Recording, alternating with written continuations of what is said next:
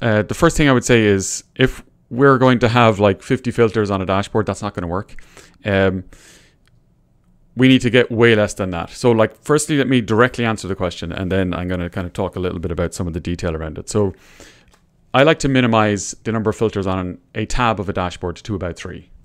Uh, five is like pushing it. Five is where it's going to get to the point where it's like, you know, that's a bit too much.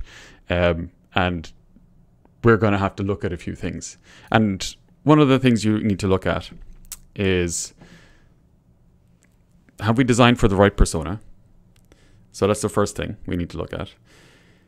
Are we designing for a use case? Or do we need to design for a specific use case? And or can we break it up by different tabs in our dashboard, right? So can we kind of start, start to split things up a little bit um, and reduce the number of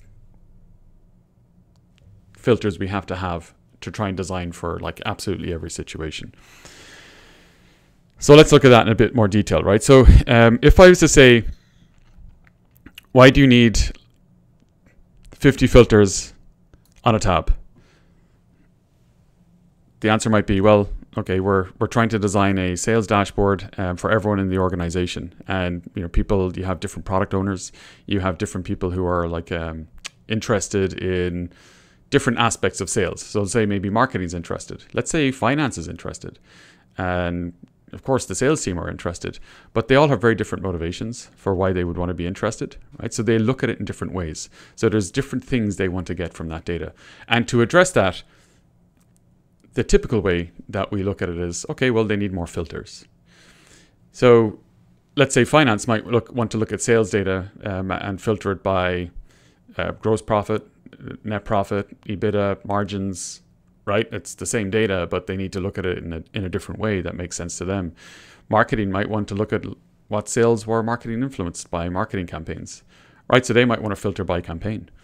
Um, other people, uh, let's say the sales team, want to filter by product, product category, right? So we end up with having uh, need, needing to have an awful lot of filters.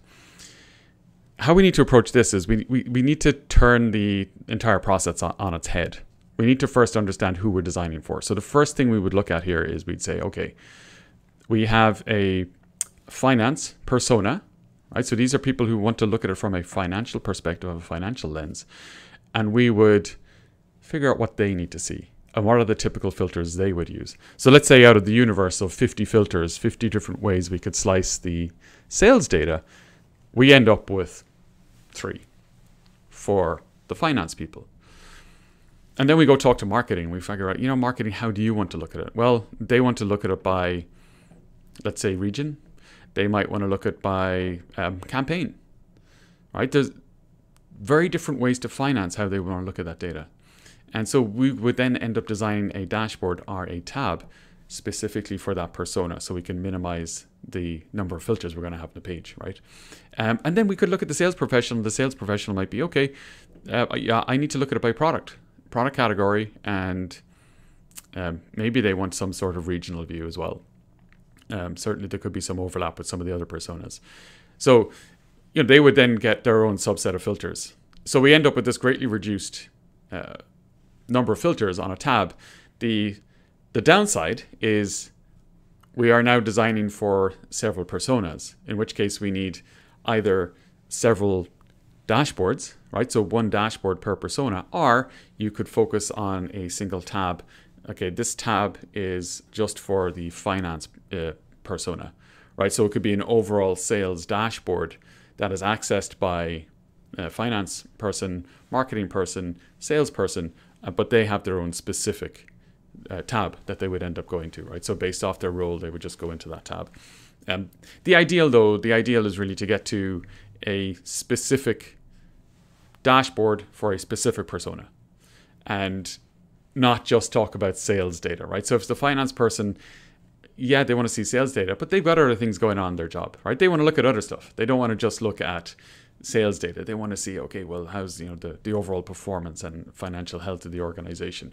What are our costs? You know, what's um, you know any supply chain um, you know, costs they need to be aware of, things they need to flag, right? So once we start going down this avenue of designing for a specific persona, we need to go all the way, right? Um, you can start by splitting it out by tab on some dashboards and start dipping your toes into it, but ultimate out, right? So um, just a few things to keep in mind.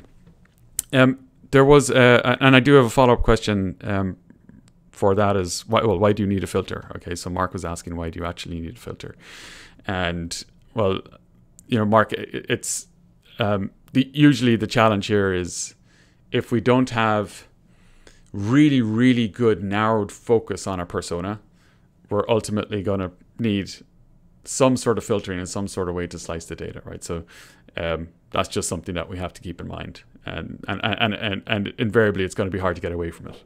It's just going to be very hard to get away from that. Um, okay, so um, Mark, I hope that addresses your question. Um, thanks for asking it. Um, we'll drop off now, and I'll see you guys next time.